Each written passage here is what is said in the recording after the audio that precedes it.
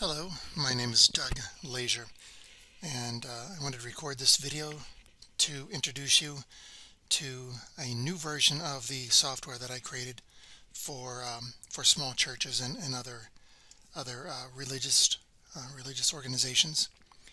Um, I uh, uh, previously had created a the version of the software for recording donations and uh, that's been been in use for many years uh, with for for churches throughout throughout the U.S., Canada, and uh, and other places with uh, around the world. But I had been asked a couple years ago to add to it uh, functionality to also record expenses. Uh, so I have a new version that can uh, has both donations and expenses, and I want to wanted to introduce you to that to that other version today. If you have not seen a demo of the donation software, then please follow the link in the description to see that demo first, and then uh, watching this will make a lot more sense. Okay, so um, as I mentioned, uh, this is actually a combination of both uh, the, the software for entering and recording donations, printing the receipts, and the monthly reports. So all of that is in here, but I've added a couple extra tabs for recording the expenses. Uh, now, just to be very honest and blunt, this is a pretty simplistic uh, way of, of, of recording uh, your expenses. It's more like a, a check register kind of a methodology. Uh, but for, for some of the small churches, this is working perfectly fine. So I just wanted to introduce that to you and show you what it looks like. So um, on the expenses tab, then we have uh, initially you would fill in your opening balance. So whatever whatever you have in the, in the uh, checking account, cash, that kind of a thing, uh, total that up and that would be your opening balance.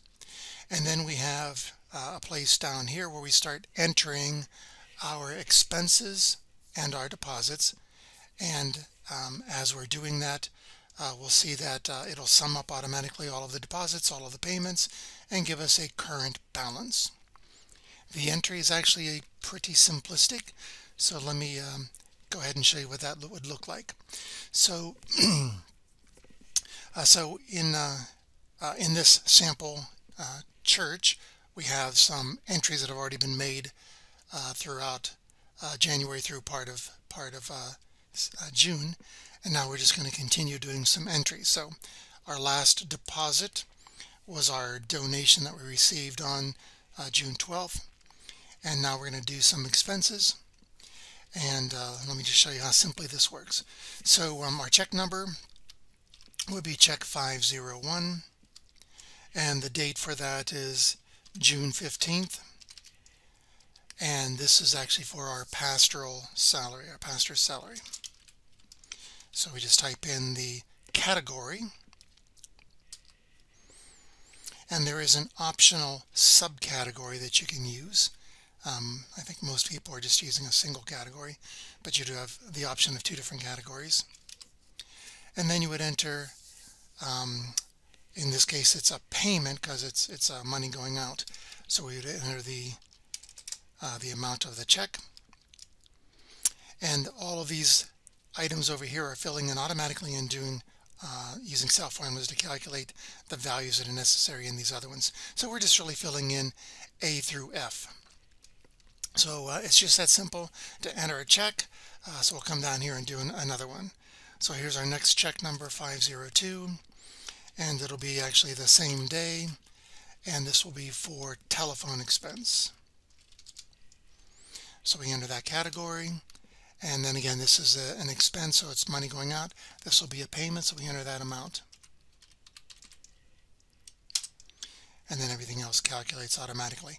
And if you notice uh, every time I come down here and start the entry, it's extending this table of information, the colors, the, uh, the fonts, uh, the formatting, as well as these formulas. They extend automatically because it's using a, an Excel table. So let's go ahead and just uh, kind of finish that off a little bit. We'll do the um, do some of the other expenses. And I'm just going to be lazy and just kind of paste those in. Okay. so that does all of our expenses for the month and then on the 19th we do another collection so this will be a deposit and uh, that'll be 619 and um, this would be the general category. And again if you have multiple categories in your donations general missions benevolence building fund etc you would enter that category. And the only uh, difference here is this is a deposit. So I put the uh, the amount collected 1779 in there and let it finish doing the calculations all right we'll just just do a couple more you can, again you can see just how simple this is. So um, we also have some um, expenses for our supplies so that'll be another check. Um, 50 well let's just say yeah 507 and that is on the 22nd actually it's yeah 21st sorry. And this is for supplies again a payment 4731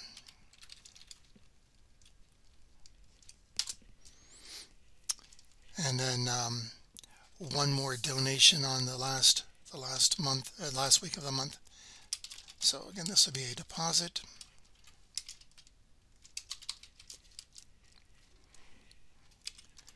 On the 26th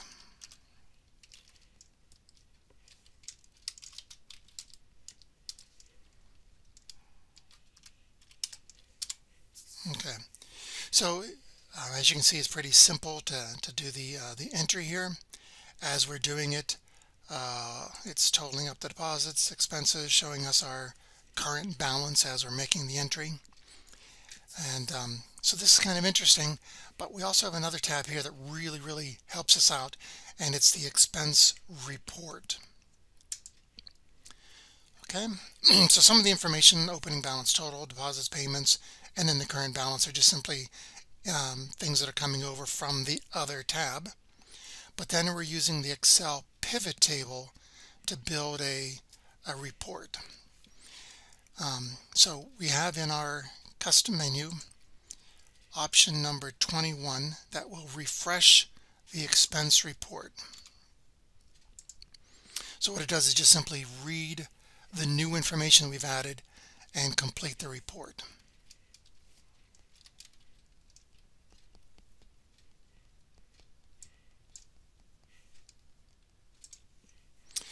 And then I just wanted to show you real quickly over here that on the parameters tab, one of the options we have here is uh, when you're doing your expenses, do you want to use the subcategories as well as a category?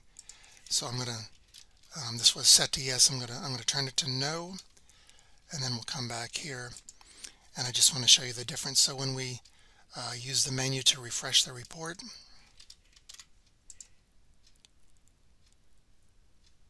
okay, so this, this looks a little bit cleaner because um, I had not filled in the subcategories. So I just want to display the report using category only. And so what you'll see is we have uh, in the report, we have our income and we have our expenses. Um, if we had filled in missions, building fund, benevolence, that kind of thing, that would have been sh would show up here uh, under our income as the as the different categories. We also now have our expenses and these are each of the categories we entered for the expenses.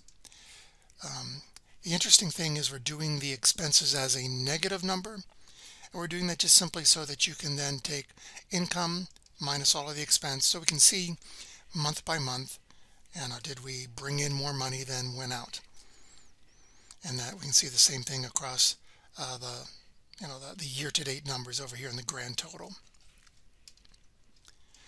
uh, so uh, so this this report uh, is refreshed. Like I say as soon as you use this menu item 21 and if you want to print it item 22 will, will print the expense report. Okay so I just wanted to introduce uh, you to this.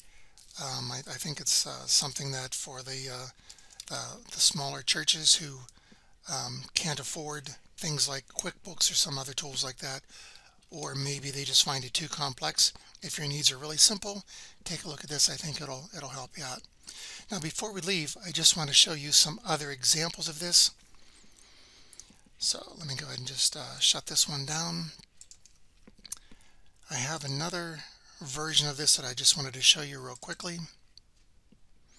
And uh, on this version, uh, what we see is that um, I've gone ahead and gone ahead and uh, used both category and subcategory. So you can just get a, a feel for what that looks like. So that was just on the report as we're filling it in. Sorry on the report we're just filling in both category and subcategory. So the category would be the broad uh, the broad category of donations. The subcategory would be your general missions and that kind of thing. Same thing building maintenance uh, as the category the subcategory would be your telephone gas rent electricity etc so just kind of showing the idea of what that would look like and then the report then would be uh, would have these different levels of the of the report. So building maintenance and then underneath of that all of those categories that are part of building maintenance. So just uh, having those two different levels and showing you what that report would look like. And then the last thing um, just wanted to show you uh, some of the folks I've worked with uh, using this donations and expense um, uh, version. We're asking about well what do you do if, how do we do our, our budgets? We want to want to show our budget compared to our our expenses. So I just wanted to show you how easily we can do that.